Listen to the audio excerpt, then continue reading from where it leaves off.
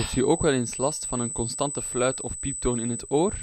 Het gaat hierbij om tinnitus, beter bekend als oorsuizen.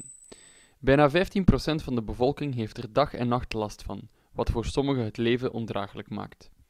Vaak is het probleem niet zo gemakkelijk te achterhalen. Tot vrij recent kregen tinnituspatiënten maar al te vaak te horen dat ze ermee moesten leren leven.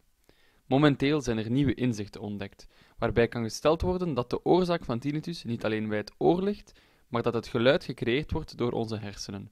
Professor Dirk de Ridder, neurochirurg in het Universitair Ziekenhuis Antwerpen, zal ons hierover meer vertellen. Mensen met oorsuizen weten we dat een gehoorzone, die je hier in het groen ziet, overactief is. Normaal gezien in rust is uw gehoorschors weinig actief, maar als oorsuispatiënt hoorde een geluid dat in de omgeving niet aanwezig is, of moet ergens aangemaakt worden, de meest waarschijnlijke plaats in uw hersenen.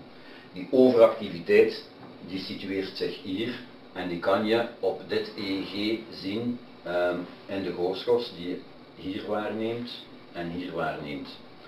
De mate, hoe meer activiteit, hoe luider dat de persoon het geluid waarneemt. De Brain 2 Clinic onderzoekt en behandelt neurologische stoornissen waar andere behandelingen faalden of onvoldoende succesvol waren, dit onder andere door neuromodulatie.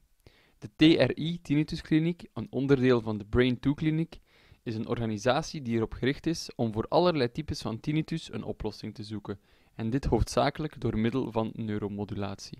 Eigenlijk kort gezegd wil dat zeggen dat we ons hier bezighouden met neuromodulatie, dat wil zeggen beïnvloeding van de hersenen op basis van magnetische stimulatie, elektrische stimulatie, neurofeedback.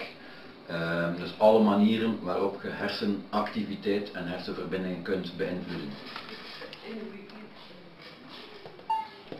Mevrouw Roes. Voordat zal gestart worden met neuromodulatie, zal de patiënt eerst op consultatie komen bij een medewerker van het Brain2-team. So, mevrouw Roes, u heeft oorsuizen. Wat hoor je precies? Is dat een ruistoon of een fluittoon? Een ruistoon. Een ruistoon. Aan welke kant hoor je dat? Links, rechts of bij? Aan mijn linkerkant. linkerkant.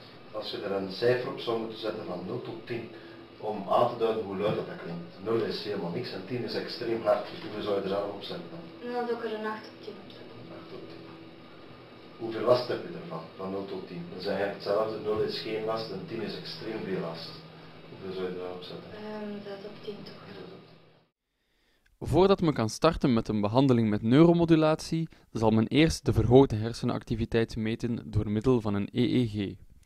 Nadien zal men het EEG verwerken tot 3D-beelden, om zo te bepalen welk gebied in de hersenen zal worden gestimuleerd via neuromodulatie. Een eerste vorm van neuromodulatie is TMS, wat staat voor transcraniële magnetische stimulatie.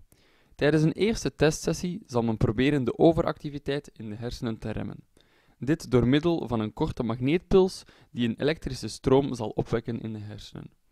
Wanneer de patiënt een positief effect van de stimulatie ondervindt, kan men overgaan tot dagelijkse stimulatie gedurende twee weken. Een tweede vorm van neuromodulatie is TDCS, wat staat voor transcraniële gelijkstroomstimulatie. Hiermee zal men eenmalig proberen de overactiviteit in de hersenen te remmen, door gebruik te maken van een zwakke elektrische stroom. Treedt er na de stimulatie een verbetering van het oorsuizen op, dan komt de patiënt in aanmerking voor herhaaldelijke stimulaties. De patiënt zal dan tweemaal per week 20 minuten gestimuleerd worden, gedurende een aantal weken. Is het effect kortstondig, bijvoorbeeld 2, 3 weken, dan kan je natuurlijk moeilijk iemand twee weken stimuleren, twee weken effect hebben, weer twee weken stimuleren, maar dat is niet doenbaar. En aan die mensen, op voorwaarde dat ze heel veel last hebben, wordt er dan soms voorgesteld om het effect definitief te laten uh, werken door een elektrode te implanteren op dezelfde plaats die je magnetisch of elektrisch al gestimuleerd hebt.